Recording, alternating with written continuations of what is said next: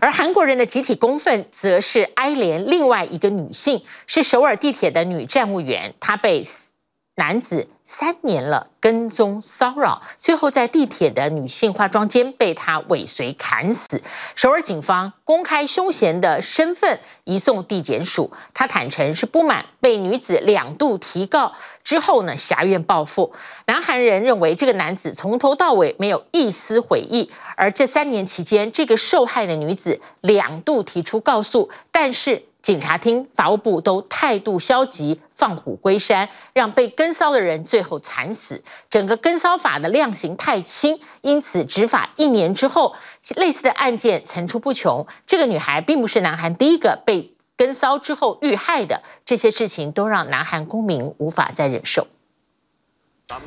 上个星期，在首尔新塘地铁站犯下跟踪砍杀案的三十一岁被告全柱焕，二十一号早上被首尔警方移送地检署讯问，首次摘下口罩面对媒体。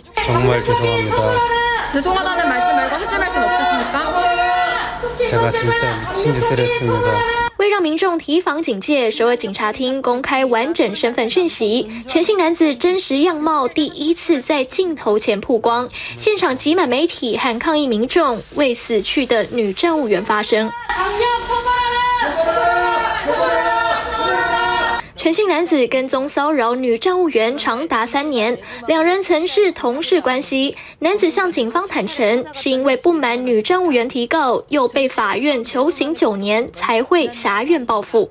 피고인이자신의범행에온당한처벌을받기를바라며탄원서를작성하고변호사를선임하기전에도적극적으로경찰수사관님과소통하였습니다 女站务员生前最后一次以跟骚罪对男子提告，希望法官判处重刑。全姓男子却向法院多次提交悔过书，供称自己是酒后失控，企图逃避刑责。当时调查单位和法院态度消极，也引发放虎归山的争议。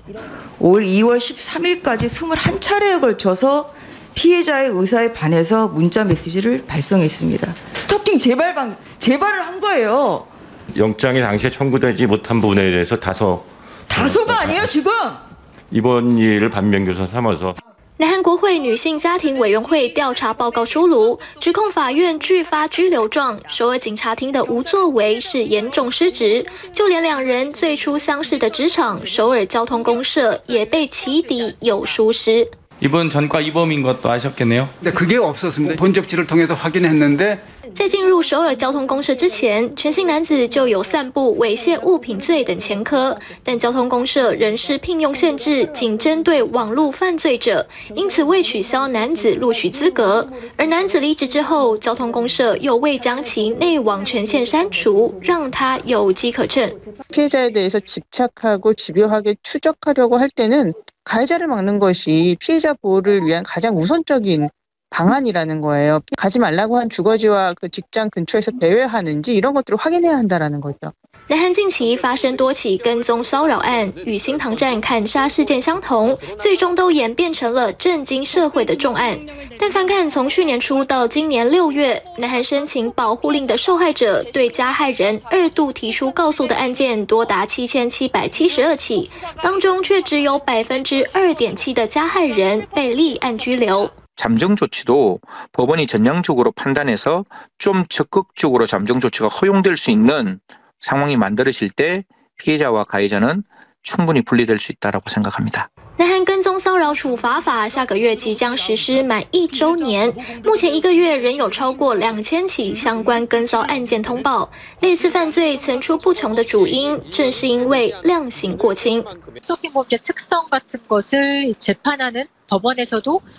특성재판하는법원에서도더많이공부해야될필요는있겠죠또스토킹관련된판단사례를좀분석을내부적으로统计发现，违反跟骚法遭起诉的案件，每十件当中仅有两起被法院实际求处徒刑，另外有四成被判缓刑，两成仅被一颗罚金。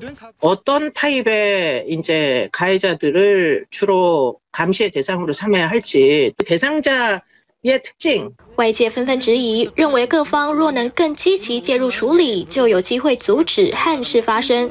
南韩根法上路一年法务部酝酿修法加强对受害者的保护力道。大法院量刑委员会如今也拍板审议将严拟制定更具约束力的量刑标准。Tvbs 新闻综合报道。